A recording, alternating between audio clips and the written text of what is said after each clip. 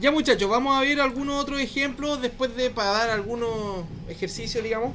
Eh, y vamos a estar trabajando sobre este mismo código para que pueda ver que se hace de igual forma. Yo voy a borrar todos estos, estos ítems que están de más, como para poder hacer el código un poquito menos estresante ya.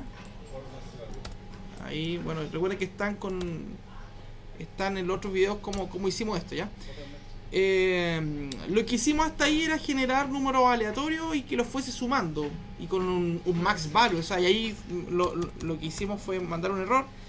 Por ende, vamos a hacer la matriz sea de, de 3 por 6. Recuerden que fila, columna, insisto. Si, si usted dice, profe, que aún no sé cuál es la columna y cuál es la fila, recuerde siempre este pequeño dato del tío pato. Pequeño dato del tío pato. Están los seres humanos, ya. Ahí, y los seres humanos tienen la columna vertebral. Y la columna vertebral es hacia abajo. O sea, si yo pongo a 10 humanos hacia el lado, serían 10 columnas. ¿No es cierto? O sea, las columnas son las que están o se ven gráficamente hacia abajo. ¿Ya? Y las filas son las que están así. ¿Comprenden, no? Si el ser humano está acostado, esa columna está acostada, pero sigue siendo columna. O sea, yo puedo tener una, matriz de, de 3x6 y si acuesto esa matriz va a quedar igual, de 3x6. Eh, entonces, un buen dato es que la columna es como la columna vertebral. O sea, si yo digo, por ejemplo, eh, hago esto así y digo cuántas columnas tiene, usted inmediatamente tiene que contar ¿Cuántos seres humanos hay? Entre, o sea, hay, hay uno, dos, tres, cuatro, cinco. Cinco columnas, profe. ¿Y cuántas filas? Una, dos, pues. O sea, fila, perdón, columna y fila. Y la matriz se crea no como columna, fila, se crea como fila, columna. Entonces sería, es de 2 por 5. ¿Ya? Eso es como un, es un dato. Ahora con, con álgebra ya lo están viendo, bueno, Los Ángeles y ella quizás explica mucho mejor. ¿Eso escuché algunos eh, suspiros por ahí. Bien, eh, Vargas. ¿Fue Vargas? Ya, Vargas lo pillado, Jonathan Vargas. Yo voy a enviar este video a Bueno, ella igual vea ese los videos porque, no sé. Entonces, Vargas fue usted el de ese suspiro, ¿no? Sí, profesor. Bien, lo asumió, bien, maravilloso. Bien, eh, ya. Lo que podemos, bueno, lo que lo que hicimos aquí de 3x6, ah, sí, de 3x6, pero este, número es muy, es muy, muy amplio. Dijimos que se puede generar un eh, número más eh, pequeñito. Ahí. Ahí estamos.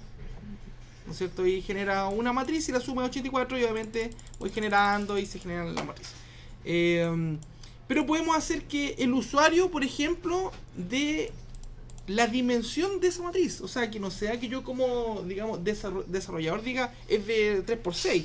Y obviamente como el usuario quiere definir eso, eh, vamos a, necesitar eh, la utilización del escáner. Eso es prueba número uno. Ya no voy a explicar esa cuestión. Cualquier duda, libros o videos. Y debo leer obviamente las filas con las columnas. O sea, yo puedo decir, ¿sabéis qué filas, columnas? Y leo obviamente con un sort. O sea, lo voy a hacer muy rápido para que el usuario pueda poner cuántas filas y cuántas columnas son. Ya, y esto lo hacer rápido porque obviamente todos los muchachos están secos en, en lo que es leer datos, ¿no es cierto? Se supone. Ávidos de algún, digamos, conocimiento extremo. Entonces estar de nuevo mostrando qué es lo que hace Scanner es como estar redundando mucho. Y listo, yo ahí leí, fíjate rápidamente, filas, columnas, y el orden que el profesor dijo era fila, columna. O sea, yo en vez de tener 3x6, puedo decir perfectamente filas, columnas, y se acabó el gran dilema y el software queda tan brígido que ahora el usuario define esa matriz. Ya, o sea, yo como usuario digo, ¿sabéis que quiero de, de 3x6? No, 3x6. Quiero que sea de, de 10 filas con dos columnas. Que es una de 10 x 2, o sea, una cuestión, pero magia negra ya a más no poder. Eh, a más no poder. Ahora, voy a dar la opción de que alguien si tiene duda con esas líneas que me diga, el tiro profesor, yo no me acuerdo, no, no cacho nada, pero lo vamos a dejar fuera del, del video, digamos. Bien, voy a, voy a hacer otro, otro test acá. Ya, test eh, matriz 2. Ya. Generé otra, otra, otra mine. Y para que podamos ver que se pueden hacer, por ejemplo, matrices de otro tipo de datos. ¿Ya? Por ejemplo, vamos a tener una matriz de strings para guardar nombres, por ejemplo. Guardar 100 nombres en una matriz de 10 por 10. ¿Ya? Que aquí donde, donde los profesores de álgebra dicen, bueno, una matriz con letras, con números. Bueno, puede ser porque quizás con X, pero ya. No, acá va a ser con nombres. Ah, bueno, qué extraño. Nombres la vamos a colocar nomás, por ejemplo. Eh, y bueno, podemos incluso decir que la matriz va a ser de. de 3x4. ¿ya? Porque le un nombre. Eh, claro, por supuesto. Mire, yo ahí generé. De hecho, no generé, pero salió un error. ¿Alguien que pueda decirme por qué lanza error? Maravilloso. Hoy están, pero despiertos. Vector de despiertos, vector de dormidos. Eh, bueno, pues, obviamente puedo pedir al usuario, ya lo vi. Yo no quiero perder tiempo con esas cosas de nuevo del scan y todo, porque eso ya vimos cómo se hacía. Pero sí, dime.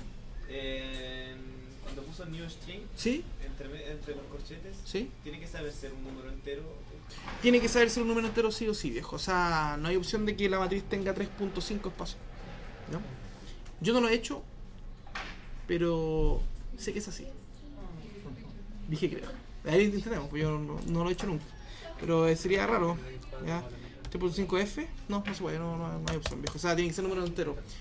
Eh, um, claro, porque no hay una matriz de 3,1 espacios, así como de un poquito del espacio y el otro, no, serían espacios ya rígidos. Ahora, por ejemplo, si yo quiero rellenar con puros null, ¿cómo lo hago? Dos ciclos, profesor, a no dudar. Y fíjate cómo generé el ciclo for tab, ¿ya? Eh, ¿Perdón? ¿Tan rápido con el tab? Sí, for tab. O sea, yo digo for tab y NetBeans inmediatamente sabe que voy a hacer un ciclo for y dice i igual a 0, de nuevo y dice hasta qué largo, 10 vueltas. No, yo quiero nombres.length vueltas. ¿ya? Y después digo for tab, j incluso, tab de nuevo, nombres y punto length. Y queda pero preciso. ¿Ya? Wow. Ahora eso no es que Java se hace, porque hay varios, hay varios que digamos confunden esto y dicen, oye, que es bacán Java. Y claro, Java es, es- bacán, pero NetBeans hace eso, que tú for tab y todos esos shortcuts que, que bueno, ¿no? Bien, entonces yo si quiero rellenar eh, este tema con, o estos nombres, o esa matriz con puros null, obviamente voy a hacer eso, y la matriz va a quedar con todos los nombres como nulos, entre comillas, ¿ya? Null. Ahora, si yo quiero mostrar evidentemente si realmente fue así, recuerden que es lo mismo, pero necesito un south sin ln por lo que dijimos en el otro video. Muestro el dato. eh, muestro esos datos con espacios quizás. También dijimos por qué, no sé si que se acuerdan, para que no quedaran juntos. Eh, ¿dónde está el tema? Aquí y... Profe, es que ahí. Y, y el south vacío ahí por el tema de que ya lo vimos en otro video, o sea, no lo voy a explicar de nuevo, pero eso es para que se vea como una matriz.